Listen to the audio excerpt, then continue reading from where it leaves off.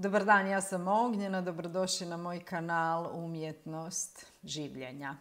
E, danas ćemo razgovarati o empatiji. Znači, pokušat ću e, malo definirati što ta empatija jest. Stalno nekako govorimo o empatiji, a e, mislim da to traži jedan ovakav jel, video.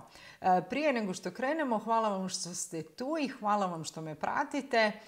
Hvala vam što slušate reklame do kraja. Hvala vam što ste pretplaćeni na moj kanal. Hvala vam na svim komentarima i hvala vam svima koji radite sa mnom.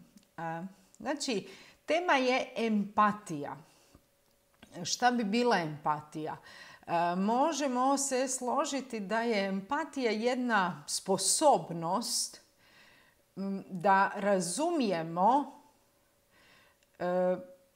misli i osjećaje druge osobe, sposobnost da vidimo situaciju iz perspektive druge osobe i da razumijemo znači gledište te druge osobe. Znači da uzmemo u obzir gledište neke znači druge osobe, a stavimo po stranu znači naše naše stajalište. Jel?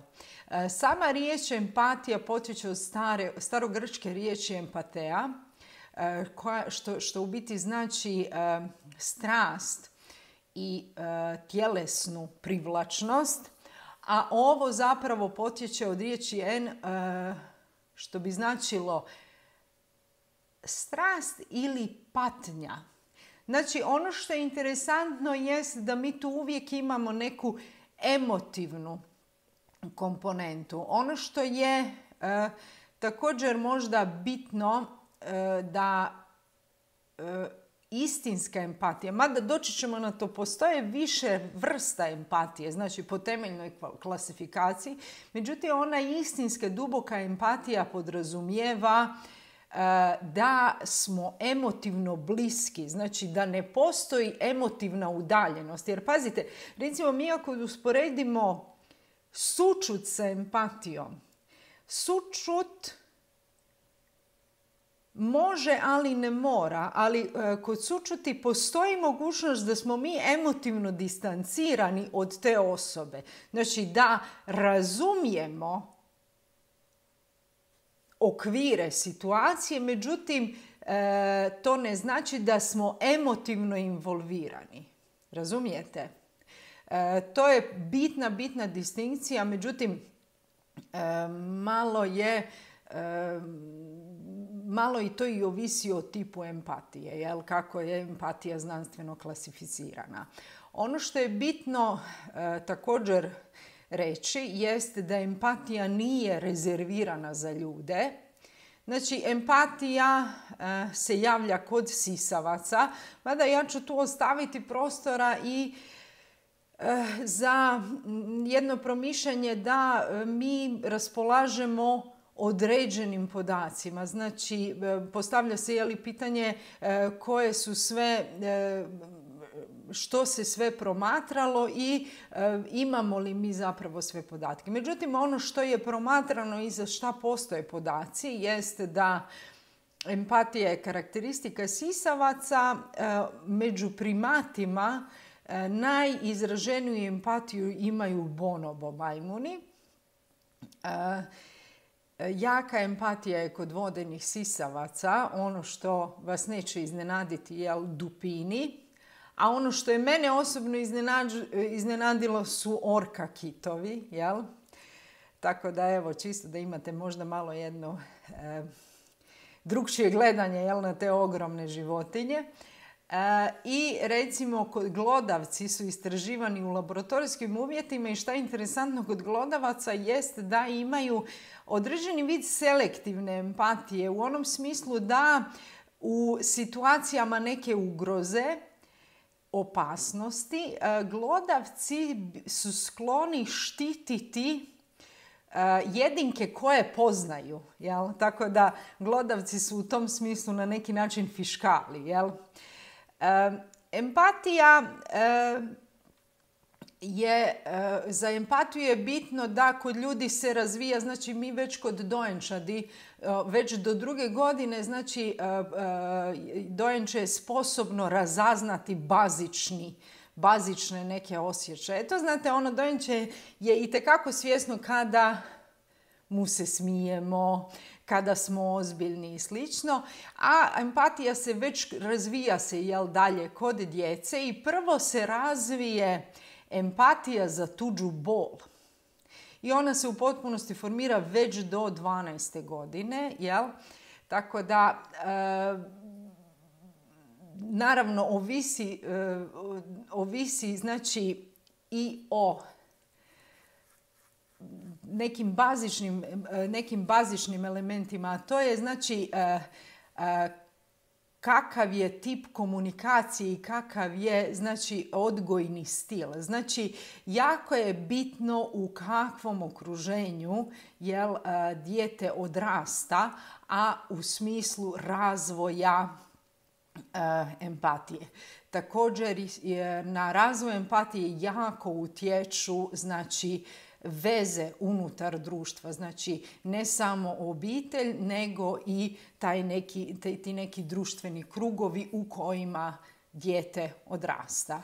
E, naravno da se empatija vidi u sinapsama i kako, kako rekao, znači baza za empatiju se razvija već, znači već od ranog djetinstva. E, šta je jako bitno za razumjeti ako govorimo o empatiji jest da e, preteče empatije je samosvijest. Znači razvoj ega i svijest o egu, odnosno sebi. E, šta time želim reći? E, čovjek da bi uopće ostvario pretpostavke za empatiju mora osvijestiti sebe u odnosu na svijet oko sebe. E, kada osoba osvijesti da nije jedno sa svijetom, nego da, ne znam, ovdje završavam ja, a tu počinješ ti, tada osoba ne samo da osvijesti sebe, nego osvijesti i drugu osobu.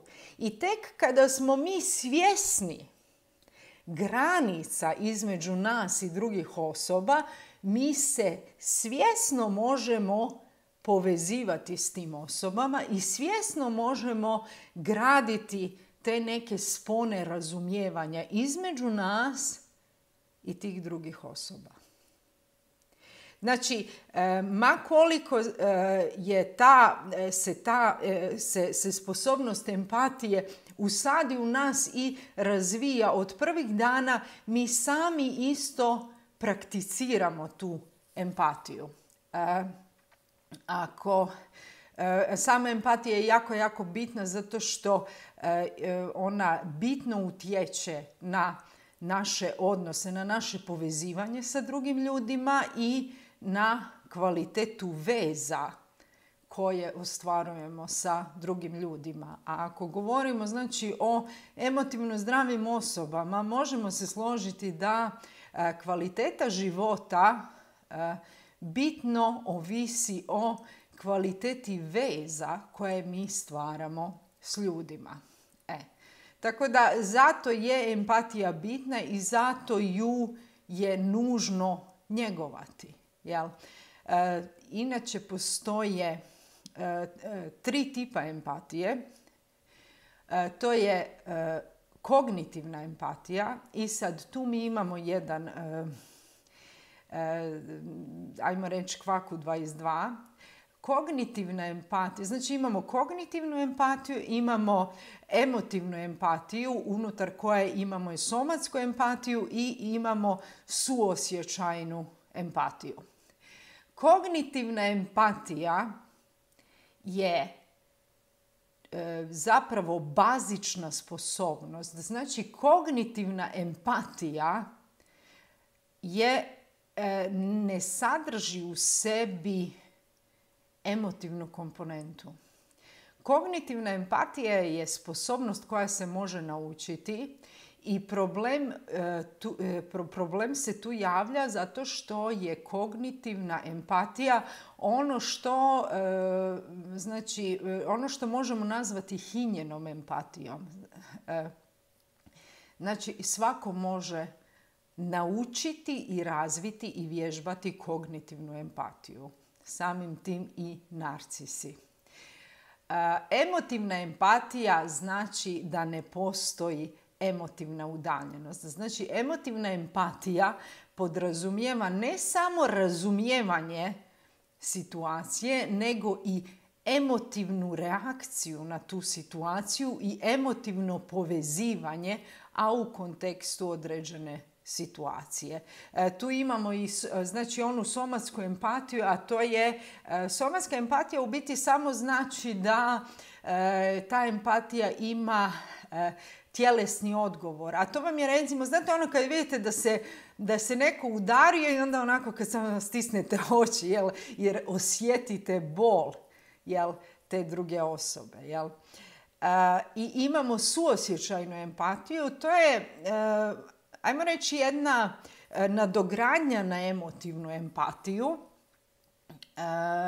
Znači, i ona bi značila ne samo da emotivno razumijemo drugu osobu, emotivno se povezujemo s tom drugom osobom, nego e, ta suosjećajna empatija je nama e, svojevrsni motivator jel, da i reagiramo. Znači, ako vidimo da je osoba u nekoj nevolji, mi jednostavno idemo automatski učiniti nešto, znači aktivno pomoći toj osobi.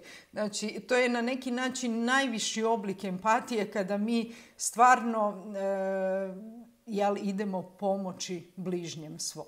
Evo, e, to su znači neke osnovne crte o empatiji i zapravo tipovi empatije. Čisto da razumijemo jel, pojmove sa kojima se e, sa kojima se dotičemo. Znači, samo želim tu e, dopuniti. Znači, klaster B nema empatiju. Pod tim ću isključiti kognitivnu empatiju, zato što ako govorimo o klaster B-u, e, Empatija o kojoj govorimo je emotivna empatija, jer problem klaster bija je e, zapravo ta emotivna nazadnost. Kognitivna empatija je nešto što čovjek uvijek može naučiti i to je onaj dio koji nas sa narcisima i sa klaster bijem zna zbuniti. Znači kada oni već smo pričali kada oni hine empatiju. Ta empatija nikad nije emotivna, ona je može biti samo kognitivna. Međutim, nekad je toliko vješta da nas zna zavarati. Tako da e, pričat ćemo još malo o tome, ali ovaj, Neću sad ići previše u širinu u jednom videu. E, hvala vam na ovom vremenu i hvala vam što me pratite. E, hvala vam što slušate reklame. E, hvala vam na svim komentarima. Ako želite raditi sa mnom, pošaljite mi mail. A do sljedećeg razgovora budite mi zdravo, dobro i veselo. Ćao!